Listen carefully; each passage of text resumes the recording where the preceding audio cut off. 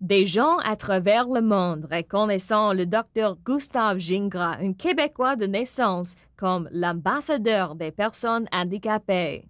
Well, he was the ambassador for the handicapped. Uh, we called him uh, Mr. Rehabilitation. Uh, he was the ambassador because he was their voice for so many years.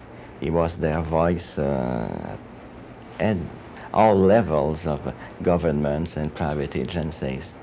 Le travail du docteur Gingras auprès des paraplégiques à l'hôpital des vétérans à Montréal l'a amené à mettre sur pied l'Institut de réadaptation à Montréal en 1948. People that had fought for this country, he was such a, gentleman, such a, a fanatic of Canada that, you know, he, and he says, what can we do for these people? And I believe that that's the time that he found out a little bit what he would like to do. He got got people moving and and he got them thinking, no, uh, I'm not going to spend my life in bed or in a wheelchair. I'm going to go out and uh, and uh, compete in society. It wasn't done with a scalpel. It wasn't done with drugs. It was just done with common sense. Il a vécu avec la passion de donner un sens à la vie des personnes handicapées. Plus tard, par suite de son travail avec la Croix-Rouge et les Nations Unies, le docteur Gingras a mis sur pied des centres semblables au Maroc, en Venezuela et au Vietnam. As soon as there was a, a major disaster somewhere, the Canadian government was al- always giving a phone call to Gustave Gingras. You see, Dr. Gingras had a very strong personality. He was the type to be a general, not a, a private.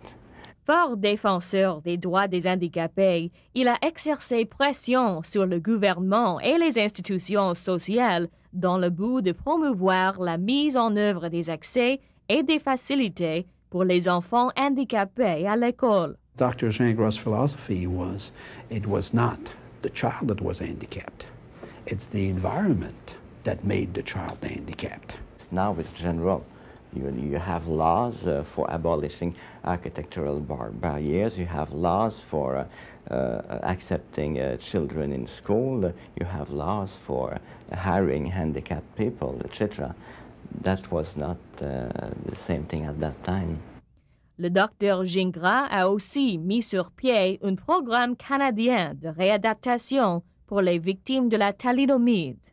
He couldn't talk about thalidomide uh, and the thalidomide task force without breaking into tears. He was a very emotional man. He couldn't do it. Didn't take him long to realize that, yes, uh, thalidomide was a terrible disaster, uh, but we don't give up. Ceux qui le connaissaient étaient fascinés par cet homme débordant d'énergie et d'optimisme qui s'intéressait vivement aux patients comme des individus afin de développer au maximum leurs capacités fonctionnelles restantes.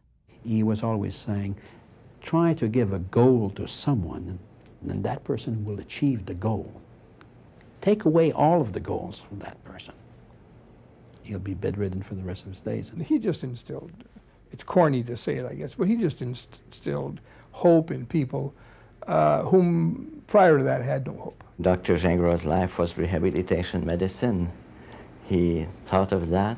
He uh, did that for all his life. Uh, I think it occupied his mind 24 hours a day. Atteint d'une maladie neurologique dégénérative dans les dernières années de sa vie, le docteur Gustave Gingras a donné lui-même l'exemple de la leçon la plus importante qu'il avait toujours prêchée aux autres. Ne jamais abdiquer et mettre l'accent sur les capacités restantes plutôt que sur ce qu'on a perdu. He never forgot the, the lessons because he used to say to me, now I'm living them. But I always realized what it was like. But now I'm living them.